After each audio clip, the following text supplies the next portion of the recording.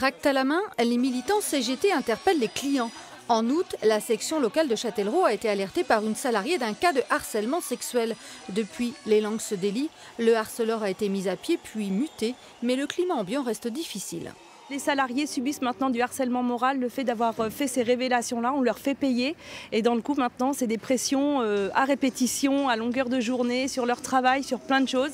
Le syndicat fait signer une pétition pour soutenir les salariés. Aucun d'entre eux n'a souhaité participer à cette action. Le sujet divise et certains ont peur de représailles. Elles ont beaucoup de difficultés à parler parce que euh, quand elles parlent de leur travail, elles aiment leur métier, elles aiment être au service des, usagers, mais euh, elles pleurent. Elles vont travailler la boule au ventre euh, sans arrêt. elles ont peur de la moindre réflexion. on leur donne des objectifs qui sont parfois inatteignables. La direction de COP Atlantique, propriétaire du magasin, a rencontré les salariés ce matin.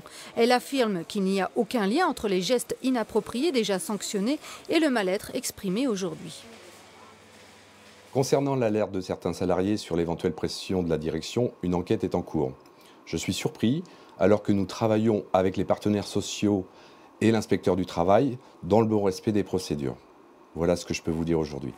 Le comité d'hygiène et de sécurité du groupe a été saisi, mais les faits seront difficiles à prouver si les victimes restent silencieuses.